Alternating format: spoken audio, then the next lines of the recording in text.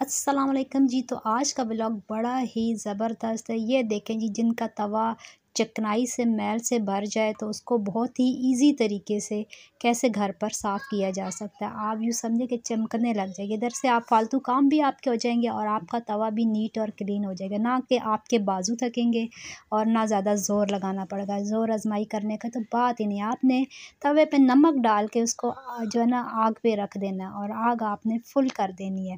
تو بس اب میں جو ہے نا اپنے کاموں میں لگنے لگی ہوں اور ادھر سے توا بھی میرا صاف ہو جائے گا۔ کافی مصروفیات کی وجہ سے میں توے کو صاف ہی نہیں کر سکی تھی، تو کافی زیادہ چکناہٹ اور اس طرح پھر اب جو ہے نا میری چپاتی بھی صحیح بن نہیں پا رہی تھی۔ تو میں نے کہا چلے آج یہ کام کرتے ہیں، ساتھ ساتھ کپڑے بھی واش کر۔ بس توے کو رکھ کے تو میں بھول ہی گئی تھی، اوپر نمک ڈال کے اور نیچے گیس لگا دی تھی، آن کر دی تھی اور یہاں پر میں نے کہا چلیں جی ساتھ ساتھ کپڑے بھی واش کر لیتے کیونکہ بارشوں کی وجہ سے کافی زیادہ کپڑے میرے جمع ہو گئے تھے۔ ابھی تو یہ میں نے آدھے نکالے تھے اور آدھے میں نے رکھے ہوئے تھے۔ اور بادل بھی آئے ہوئے تھے، یہ دیکھیں۔ تو میں نے کہا، چلیں، اتنی جتنی ہوا چل رہی ہے اس دوران، یہ ہے کہ کچھ تو یہ ڈرائی ہو جائیں گے اور پھر میں ان کو رات کو اندر ڈال دوں گی۔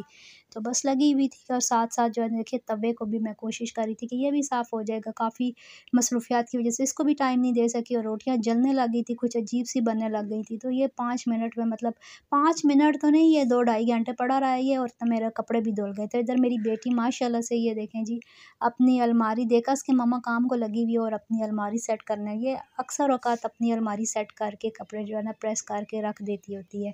چھوٹی تھوڑی وہ ہے کہ اس کو دیکھ کے کام کرتی ہے، لیکن وہ ہے کہ ضدیں بہت کرتی ہے۔ یہ دیکھیے، اس نے اپنے پریس کر کے بڑے طریقے سے ساتھ ساتھ، جیسے ماں کو مطلب بچیاں دیکھیں نا کام کرتے ہوئے تو ان کو طریقہ بھی ہوتا ہے۔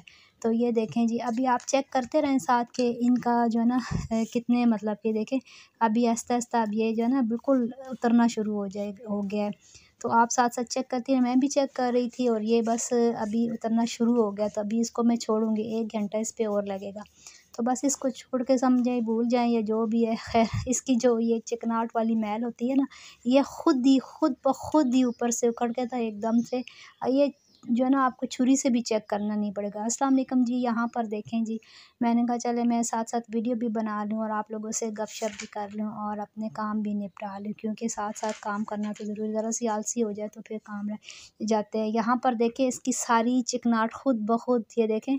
آپ جیسے ہی یہ چھری سے اس کو سائڈ پہ کریں گے، نیچے سے صاف شفاف جو ہے نا توا نکلا اور مقصد نمک ڈالنے کا یہ کہ یہ جلے گا بھی اور آپ کے گلے میں بھی نہیں لگے گا اور نہ ہی کسی قسم کی تکلیف ہوگی۔ اس کو بس آپ نے واش کر لینا اور دیکھیں میرا توا نیٹ اینڈ کلین ہو گیا اتنا گاند اترا تھا۔ یہ تقریباً کافی امی بھی بیمار ہو گئی تھی تو میرے بس رہتے رہتے رہتے رہ گیا تھا یہ۔ آج کرتی ہوں۔ آج کا کام اگر کل پہ چھوڑ دیا جائے تو آپ کو پتا وہ اکثر اوقات لیٹ ہو ہی جاتا ہے۔ تو بس ہم بچوں والی ماؤں کا یہی حال ہوتا ہے، کبھی آلسی ہو بھی جاتی ہے۔ اور یہاں پر میں نے سارے کپڑے بھی واش کر دیے تھے الحمد للہ کہ ابھی تو آدھے کیے تھے اور پھر بھی بادل تھے۔ تو یہ دیکھیں جی یہاں پر بہت گہرے بادل تھے، لیکن ہوا میں میں نے کہا چلے یہ ڈرائی ہو ہی جائے گی۔ اوپر چھت پہ بھی میں ڈال کے آئی تھی امی کے سارے کپڑے۔